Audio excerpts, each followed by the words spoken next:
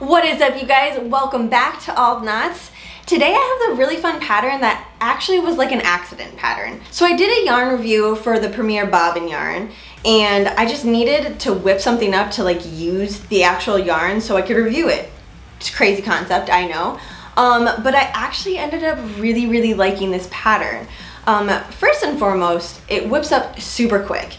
Like I said, it's just like a couple of stitches that you need to use and it like, you just mindless. You can just go watch TV, listen to your podcast, and finish this entire shawl. All in all, I think it literally just make, took me one evening to do this. So really not that long at all. Before I chit chat more about this amazing new pattern, let me just go grab it and show you what it looks like.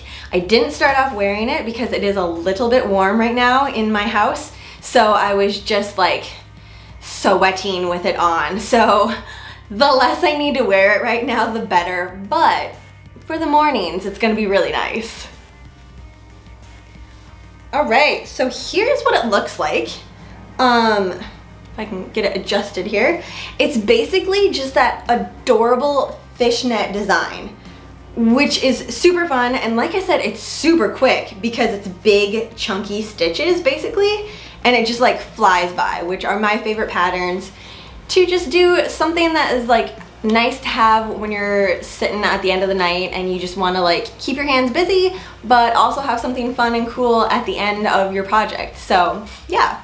Basically this ends up being a pretty good size shawl. Um, I could probably stand up and show you. So, I mean, it can easily wrap around your body here. So this ends up being a pretty good size shawl. Um, I am 5'5", and it like goes to about the middle of my back. And this entire thing came from only one, I guess you can't say skein, one bobbin of yarn from the Premier yarn. So let me show you that. So this entire thing, just one of these to create this entire project, which is always cool because I love when you just need to be to buy like the least amount of things, materials in order to get a really fun project. And then to make it even a little bit cooler, I had this adorable little death moth here. How cool is that, you guys? Basically, it's just like this cute little adorable brooch that I had and I had no idea what I was gonna use it for. So I think it looks adorable with this. And if you guys like it, I'll link it down below so you guys can go check it out and like maybe attach it onto yours too. I did end up actually making a second one of these because I had two other bobbins that I had no idea what I was gonna do with it. Um, so I just ended up combining both of them together and it made a giant one. It almost ended up being like a little like blanket shawl. So if that's something you're into too, there's always options. Like I said, this is a very open-ended pattern, so you literally can start and stop it whenever you want to.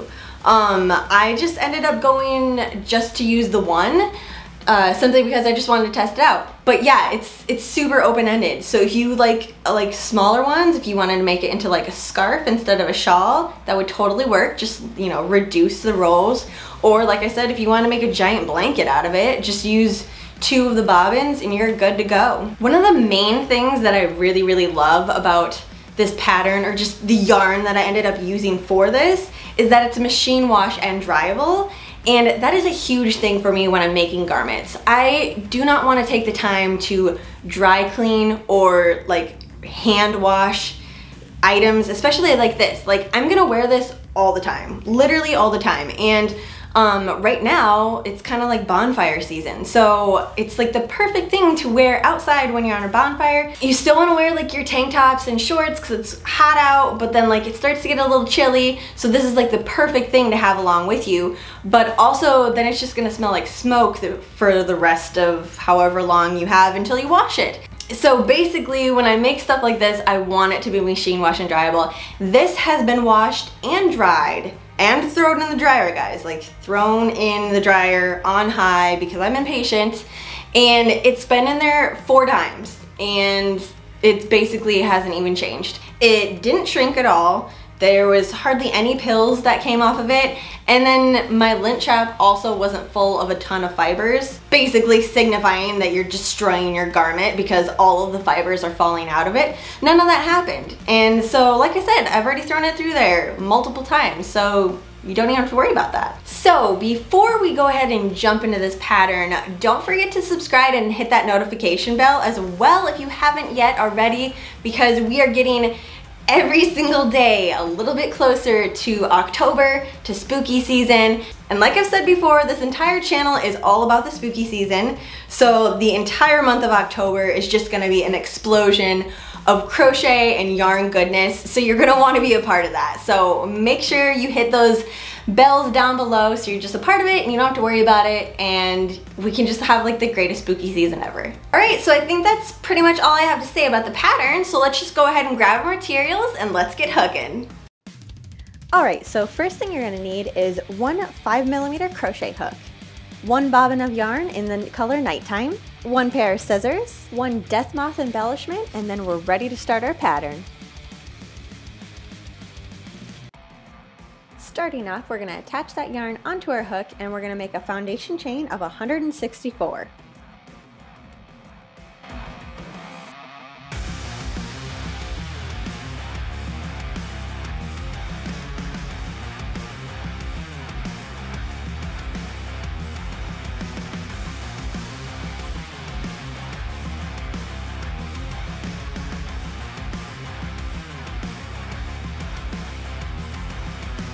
Next, we're gonna be working in the fourth chain from the hook.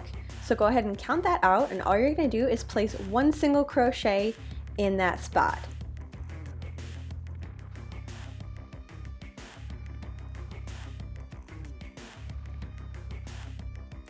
Now you're gonna chain three,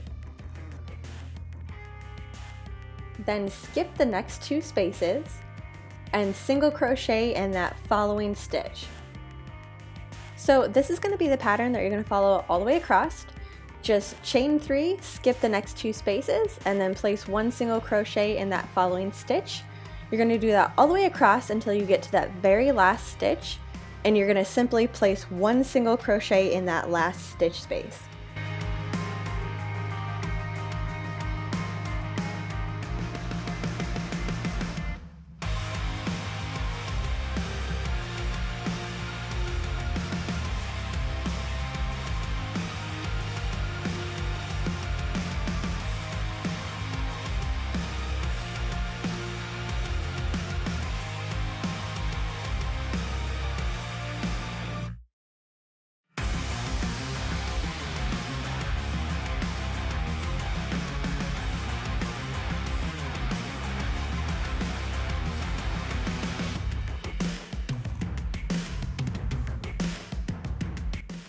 For row number three, simply chain three and then turn your project. And now we're gonna be working in those chain three spaces that you made in the previous row. So simply put one single crochet in there, followed up by three chains. Then you're gonna find that next single, three single crochet chain space that you made previously and place one single crochet in that space. And this is gonna be a pattern that you follow all the way across. And just like the row before, when you get to the very last stitch, you're gonna place just one single crochet.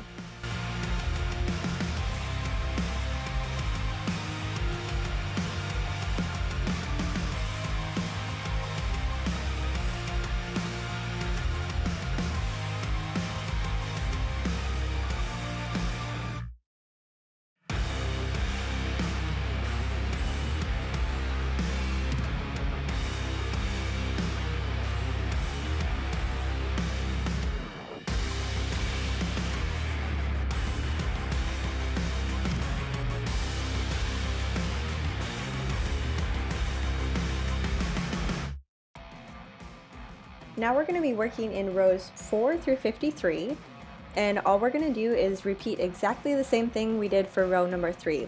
So go ahead and grab a stitch counter or however you can keep track, write it down on a pen and paper if that works out for you too. But just go ahead and follow row number 3 for rows 4 through 53 and then I'll meet you at row 54.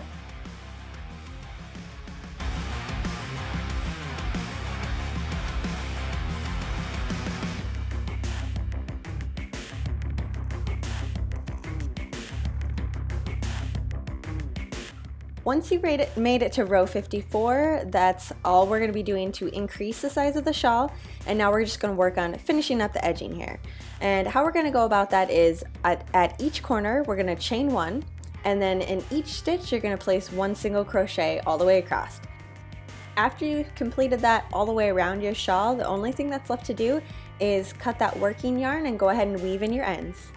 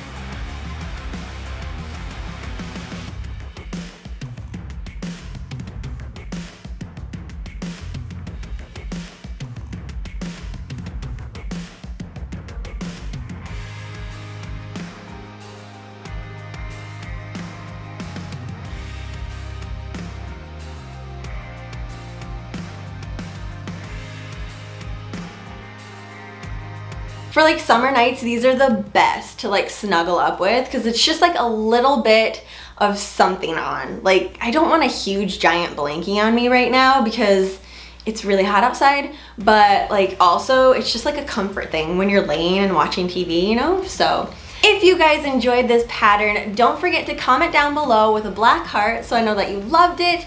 And then also maybe I'll like start making some more garments on this channel. Um, it's not really normally my thing. I really love making like bags and stuff like that, but this pattern was super fun and I enjoyed it. So if this is something that you guys also enjoy, let me know down below so then I can keep on pumping these patterns out for you guys. All right, you guys, so that is all I have for you today. Thank you so much for crocheting along with me and until next time, keep on hooking.